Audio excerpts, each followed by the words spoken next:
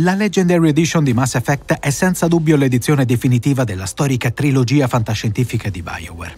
Una raccolta dal grande richiamo sia per i fan storici sia per coloro che si avvicinano per la prima volta. Esiste però a nostro giudizio una terza categoria di giocatori, ovvero quelli che in passato hanno sì giocato a Mass Effect ma non hanno dato la giusta attenzione alle sue espansioni. Negli anni si è infatti parlato tanto di quanto siano essenziali ai fini dell'esperienza, nonostante la loro natura opzionale. Grazie alla Legendary Edition tutto questo oggi non è più un problema e anche coloro che conoscono bene la saga di Mass Effect potrebbero scoprire lati nuovi della storia del comandante Shepard. Ma in che ordine vanno giocate queste espansioni? Ecco una guida su quale, secondo noi, è l'ordine corretto per giocare i DLC della saga di Mass Effect. Ovviamente ci concentreremo solo su quelle dal taglio narrativo, tralasciando tutti quei pacchetti relativi a equipaggiamento e armature comunque inclusi nella raccolta.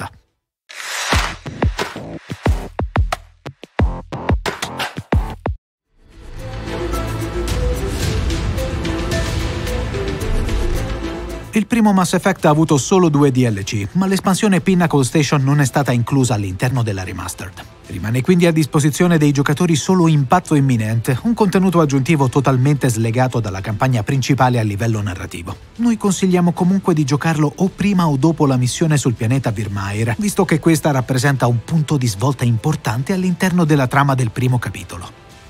A differenza del primo e del terzo capitolo della saga, strutturati per avere una progressione che culmina in un punto di non ritorno, Mass Effect 2 può essere giocato anche dopo il suo epilogo. È proprio in quest'ottica che alcuni dei suoi contenuti aggiuntivi acquisiscono molto più significato se giocati dopo la missione del Covo dei Collettori. Per prima cosa consigliamo di iniziare con le due missioni relative ai personaggi aggiuntivi di Mass Effect 2, Kasumi e Zaid. Le missioni dell'atto 1 dossier il veterano e dossier la ladra, più le relative missioni lealtà di questi due personaggi, ovvero il prezzo della vendetta e rubare la memoria, dovrebbero essere le prime ad essere giocate. Si sbloccheranno all'interno dell'atto 1. Segue poi il punto di schianto della Normandy. Anche questo contenuto consigliamo di giocarlo non appena possibile prima dell'inizio dell'atto 2. Incarico Overlord invece è strettamente legato a Cerberus e aggiunge diverse informazioni sull'organizzazione dell'uomo misterioso. Fa parte dei DLC dell'atto 2 di Mass Effect 2, quindi può essere giocata da quel momento in poi. Visto il suo interesse narrativo, però, prima la giocherete meglio è. Se volete lasciarla da parte dando priorità alla campagna principale, non ci saranno grossi problemi. Consigliamo comunque di avviare il DLC prima della missione collettori.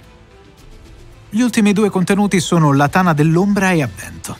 Questi fanno parte di quei contenuti che per una questione di progressione narrativa ha senso giocare dopo l'epilogo. Durante la campagna principale della Tana dell'Ombra, Shepard incontrerà una sua vecchia conoscenza, un personaggio molto amato della serie con il quale avremo modo di parlare, ma che non si unirà al party. Ed è per questo che suggeriamo di giocarlo dopo il finale di Mass Effect 2, visto che all'atto pratico non va a influire sulla struttura del secondo capitolo.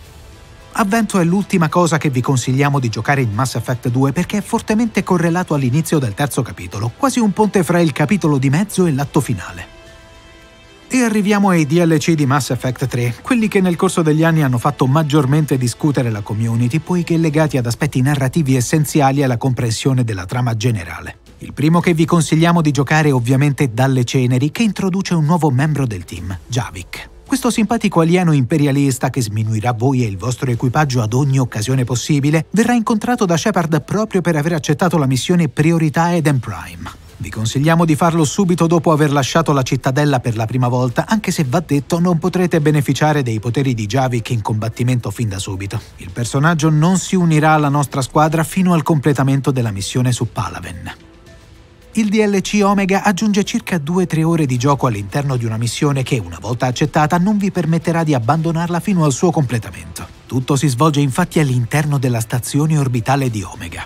Vi consigliamo di avviare il DLC dopo aver completato la missione Tuchanka e quella opzionale di Ariat Lock sulla cittadella.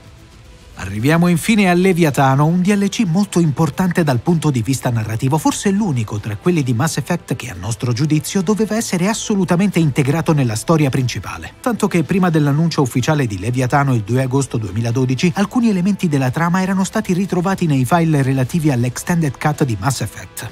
Inoltre l'attore Anthony Scordi aveva confermato di aver già prestato la voce a questi contenuti. Leviatano fa parte delle missioni secondarie di priorità Palaven e si avvierà alla cittadella dopo aver parlato con il dottor Bryson. Se ve lo foste perso a suo tempo, sappiate che questo contenuto ha il potenziale per dare una bella scossa alla trama della trilogia per come la conoscete.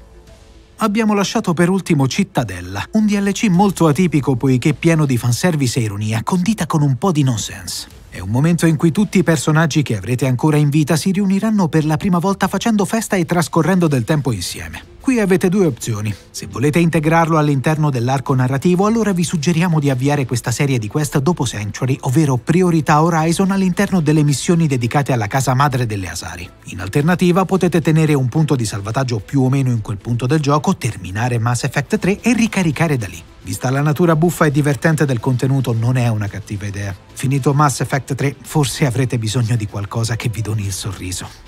Questo è l'ordine in cui vi consigliamo di giocare i DLC della prima trilogia di Mass Effect. Voi cosa ne pensate? Siete d'accordo con le nostre scelte oppure avete altri suggerimenti? Fatecelo sapere nei commenti qua sotto e se avete trovato questo video interessante lasciate un bel mi piace per sostenere il nostro lavoro. Ne volete altri? Allora iscrivetevi al canale cliccando sulla campanellina per non perdervi nessuno dei nostri contenuti. Qui accanto trovate alcuni suggerimenti che possono interessarvi. Grazie per aver guardato fino alla fine.